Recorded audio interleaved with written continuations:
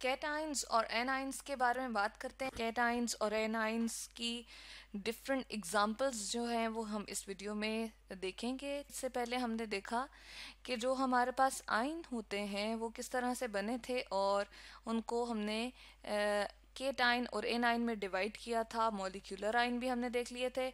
अब हम देखेंगे इस वीडियो में डिफरेंट एग्जाम्पल्स तो यहाँ पर हम देख रहे हैं फ़र्स्ट एग्जांपल हाइड्रोजन आयन की है, उसको हम रिप्रेजेंट करते हैं जी एच और ऊपर लिखते हैं प्लस प्लस के साथ यहाँ हमने वन नहीं लिखा हुआ, इसका मतलब यही है कि यहाँ पर वन इलेक्ट्रॉन इस हाइड्रोजन एटम में से जब रिमूव होता है तो क्या बन जाता है, कौन सा केटाइन हाइड्रोजन आइन बन जाता है.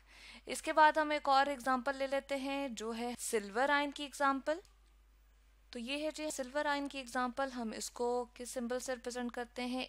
कैपिटल ए और स्मॉल जी हम लिखते हैं और इसके ऊपर भी प्लस हमें नज़र आ रहा है। इसका मतलब है ये के टाइन है और इसमें से भी इसके, यानी कि एटम में से भी एक इलेक्ट्रॉन रिमूव हुआ हुआ है।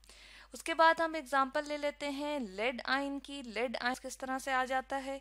इसको देख लेते हैं। लेड आइन जो है वो भी एक केटाइन है, लेकिन इसमें से कितने इलेक्ट्रॉन रिमूव होते हैं जी? दो इलेक्ट्रॉन रिमूव होते हैं, इसलिए टू प्लस हमने यहाँ पर लिखा है, यानी कि दो इलेक्ट्रॉन रिमूव हो गए। नेक्स्ट एग्ज़ाम्पल हमारे पास है जी अमोनियम आयन की। अमोनियम आयन को हमने रिप्रेजेंट किया है कैपिटल एन और यहाँ पर है हमारे पास कैपिटल एच यहाँ पर फोर लिखा, जिस तरह अमोनिया में एन एच थ्री हम लिखते हैं ना। तो यहाँ पर एक हाइड्रोजन हमारे पास एक्स्ट्रा है और वो प्रोटॉन की फॉर्म में यहाँ पर ऐड होता है। यहाँ पर सिर्फ़ हमने ये देखना है कि ये क्या है जी? पॉजिटिव चार्ज आइन है। और इसको हम क्या कह रहे हैं? अमोनियम आइन कह रहे हैं। और ये एक केट केटाइन है। इसके बाद एग्ज़ाम्पल आ गई है लिथियम आयन की और लिथियम आयन में देख रहे हैं हम एल आई और पॉजिटिव वन लिखा हुआ है, इसका मतलब है इसमें से सिर्फ़ एक ही इलेक्ट्रॉन रिमूव होता है तो ये किसमें कन्वर्ट हो जाता है जी? केटाइन में। एक और केटाइन की एग्ज़ाम्पल एल्यूमिनियम आयन है और एल्यूमिनियम आयन में से थ्री इलेक्ट्रॉन रिमूव हो जाते हैं और इसलिए हमने इसके ऊपर लिखा थ्री प्लस तो ये हमारे पास एक ऐसा केटाइन है जो एल्यूमिनियम एटम जो कि न्यूट्रल था, उसमें से तीन इलेक्ट्रॉन रिमूव करने के बाद बनता है।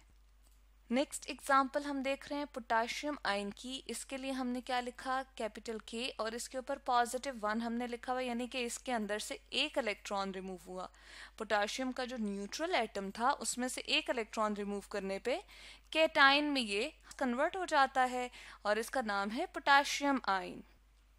इसके बाद हम देख लेते हैं कैल्शियम आयन, ये भी एक ऐसा एटम था, कैल्शियम एक ऐसा एटम है कि जिसमें से दो इलेक्ट्रॉन हमने जब रिमूव किए तो वो एक ऐसे केटाइन में कन्वर्ट हो गया जो कि है कैल्शियम पॉजिटिव टू अच्छा यहाँ पर हम बात बताते चलें कि टू प्लस लिखें या प्लस टू लिखें, ये एक ही बात है। इसमें ये दो मुख्तलिफ़ बातें नहीं है। थ्री प्लस का भी मतलब ये है कि इसमें से तीन इलेक्ट्रॉन रिमूव ही हुए हैं और टू प्लस का मतलब ये है कि इसमें से दो इलेक्ट्रॉन रिमूव हुए यानी कि ये केट आइन का ही हमारे पास सिम्बॉलिक फॉर्म होती है। लेकिन अगर हम ये देखें कि हमारे पास ये दोनों मुख्तलिफ़ बातें तो ऐसा बिल्कुल कुछ नहीं है। हम थ्री प्लस लिखें या प्लस पहले लिख के और फिर बाद में ये हमारा न्यूमेरिक जो डिजिट होता है, वो लिखें, इसमें कोई भी मुख्तलिफ़ बात नहीं है। अगली एग्ज़ाम्पल है जिंक आयन की, और जिंक आयन को हमने रिप्रेजेंट किया है जी जेड कैपिटल और एन स्मॉल हम यहाँ पर लिखेंगे। टू प्लस हमने लिखा, यानी कि एक ऐसा कैटाइन है जिसमें हमने देखा कि दो इलेक्ट्रॉन रिमूव हुए तो ये कैटाइन बना है। ये हमारे पास क्या हुआ जी? जिंक आइन अगली एग्ज़ाम्पल हमने देखी, निकल टू आइन हमने लिखा है। कुछ खास किस्म की हमारे पास मेटल्स होती हैं जिसमें से निकल एक है। जब इनमें से दो इलेक्ट्रॉन या तीन इलेक्ट्रॉन या हमारे पास जितने भी नंबर ऑफ़ इलेक्ट्रॉन रिमूव होते हैं, और इसके ऊपर पॉजिटिव यहाँ पर चार्ज आता है, जिस तरह टू प्लस इस केस में आया हुआ है तो हम यहाँ दरमियान में ब्रैकेट में टू लिखते हैं रोमन में टू लिखा जाता है, और इससे पता चल जाता है कि निकल आइन एक ऐसा आइन है, और ये कैसे प्रोड्यूस हुआ था, यानी कि इसमें से जब दो इलेक्ट्रॉन रिमूव हुए इसी तरह की मेटल आ जाती है बिस्मिथ और बिस्मिथ थ्री आइन लिखा, यानी कि इसमें से थ्री इलेक्ट्रॉन जब इसके न्यूट्रल एटम में से रिमूव हुए थे, ये कैट आइन बना जिसको हमने कहा बिस्मिथ थ्री आइन।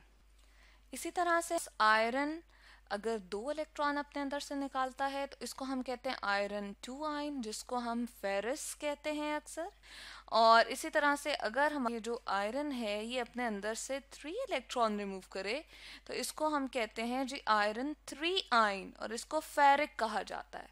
और एफ़ ई थ्री प्लस हम इसको रिप्रेजेंट करते हैं, और इसको हम कहते हैं एफ़ ई टू प्लस तो ये हुआ जी फेरस आइन और ये हुआ फेरिक आइन अब हम ऐसा करते हैं कि कुछ एनाइंस की बात कर लेते हैं। हमारे पास जो हाइड्रोजन है, उसमें एक एक्स्ट्रा इलेक्ट्रॉन अगर ऐड हो जाए तो उसको हम क्या कहते हैं जी? हाइड्राइड आइन कहते हैं। तो एच नेगेटिव हम इसको ऊपर शो करते हैं, यानी कि नेगेटिव का मतलब ये है कि नेगेटिव वन वन अगर लिखा हो या ना लिखा हो, यहाँ पर माइनस हमारे पास यही शो कर रहा है कि इसमें एक एक्स्ट्रा इलेक्ट्रॉन ऐड हुआ है।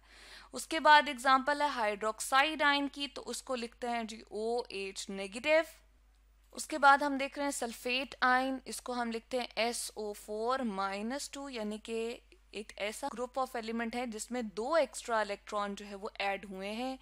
उसके बाद हम देख लेते हैं नाइट्रेट आइन की example example NO3 minus one लिखा यानी कि इसमें एक एक्स्ट्रा इलेक्ट्रॉन इस ग्रुप ऑफ़ एटम में ऐड हुआ है। इसके साथ साथ हम देख लेते हैं जी कार्बाइड आइन की एग्जांपल इसको हम रिप्रेजेंट करते हैं इस तरह से। तो ये आ जाएगा C माइनस टू यानी कि कार्बाइड आइन बन गया, ये एन आइन है। इसके साथ साथ हम देख लेते हैं फ्लोराइड आइन की एग्जांपल जो कि हमारे पास इस तरह से रिप्रेजेंट होता है। एफ़ और माइनस हम लिखते हैं इसके ऊपर, यानी कि माइनस का मतलब ये है माइनस वन एक इलेक्ट्रॉन इसमें इजाफा हो गया इलेक्ट्रॉन का। यहाँ पर ब्रोमाइड आइन की एग्जांपल अगर हम देखें तो उसमें भी एक इलेक्ट्रॉन का इजाफा होता है। और इसको हम लिखते हैं जी बी आर नेगेटिव इसके बाद हम एक एग्ज़ाम्पल देख रहे हैं जी सल्फाइड आइन की, इसको हम रिप्रेजेंट करते हैं। एस सल्फ़र के लिए लिखा एस फॉर सल्फ़र है सल्फाइड आइन के लिए हमने माइनस टू या टू माइनस लिखा यहाँ पर। यानी कि इसमें दो एक्स्ट्रा इलेक्ट्रॉन ऐड होते हैं। उसके बाद है कार्बोनेट आइन इसके लिए हम किस तरह से लिखते हैं जी? C O three two minus यानी कि इस ग्रुप ऑफ़ एटम में, ये जो ग्रुप ऑफ़ एटम्स हमें नज़र आ रहे हैं, इसमें दो एक्स्ट्रा इलेक्ट्रॉन ऐड होते हैं।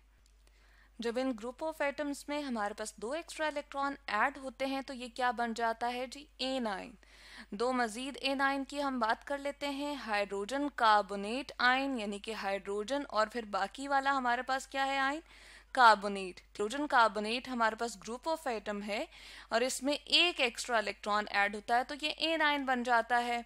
और उसके साथ साथ हम देख लेते हैं एसिटेट आइन तो इसके लिए हम शो करते हैं जी C H three C O O minus one, यानी कि इस ग्रुप ऑफ़ एटम में भी हमारे पास एक एक्स्ट्रा इलेक्ट्रॉन ऐड हो तो ये ए नाइन बन जाता है। तो यहाँ पर हमने देखा के टाइन्स की कुछ एग्जाम्पल्स और इसी तरह से हमने ए नाइन्स की कुछ एग्जाम्पल्स को स्टडी किया।